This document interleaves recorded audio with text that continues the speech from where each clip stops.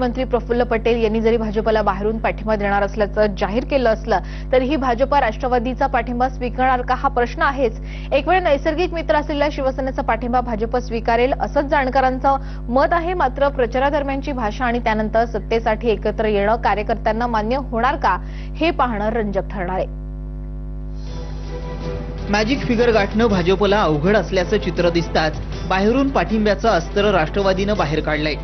राष्ट्रवादी काँग्रेस सत्ता स्थापनेत भाजपला बाहेरून पाठिंबा देईल हे प्रफुल्ल पटेलांचं वक्तव्य म्हणजे सत्तेत राहण्यासाठीची तजवीज आहे असंच म्हणावं लागेल.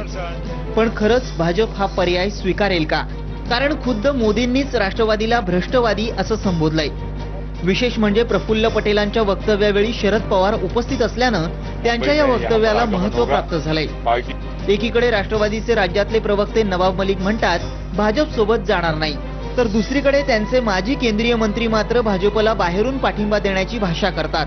निर्णायक वेळी गोंधळ निर्माण करून फायदा उचलायचा प्रयत्न आहे की खरंच राष्ट्रवादी नेत्यांमध्येच एकवाक्यता नाही हा संशोधनाचाच विषय ठरावा. बहुमत के नजदीक आने की स्थिति केवल भारतीय जनता पार्टी की है।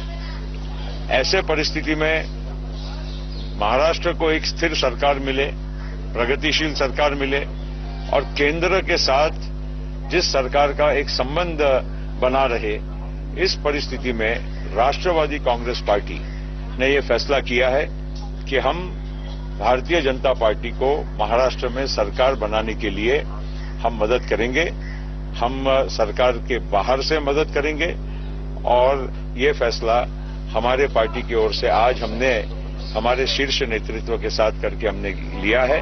या सत्ता समीकरणाची नांदी खरं तर दोन दिवसांपूर्वी सुरू झाली होती.